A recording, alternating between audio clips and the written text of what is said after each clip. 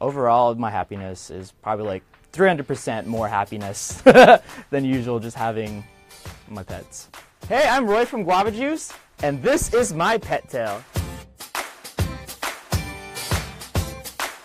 So right now I have three dogs. They're all terrier mixes. Callie, she was our first one. Uh, we adopted her at PetSmart, and that was, that was already her name. She already knew it. Like it, it just didn't make sense to change it.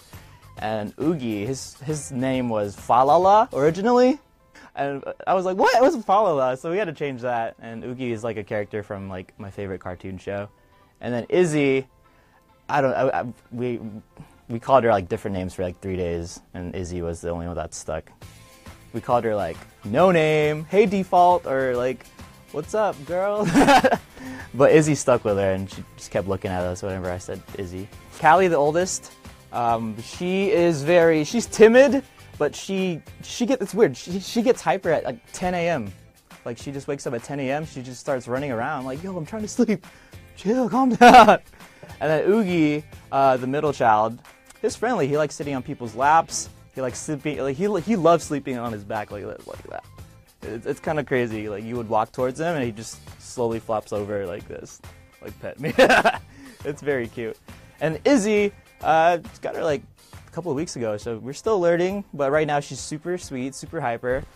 She loves chasing her tail. It's weird, and she likes fetching things. She she she acts more like a dog than the other two, which is great. It's great having a real dog. Callie, the eldest one, she likes being by herself. She's very independent. So whenever I put her on set, she kind of just leaves automatically. But Oogie, he loves the attention. When I put him on like the table, he usually sits down and just like smiles. Sometimes he flops over like he usually does, like, "Hey, I'm Oogie, I'm a star." he loves the camera. He loves attention. He loves people.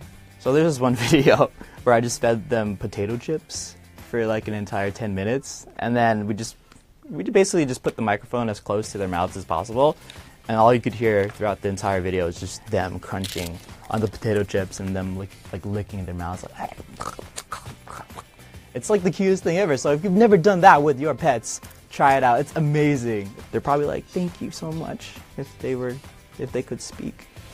If I could talk to my dogs right now, I would be like, "How's my cooking, y'all?" Or like, "What do you think of me?" Like, "What do you actually think of me?" I know you're sweet, but what do you think? Like, like, "Oh, daddy, you're nice." But you fart a lot. my pets are my life. like without them, I feel like I wouldn't be as cheerful.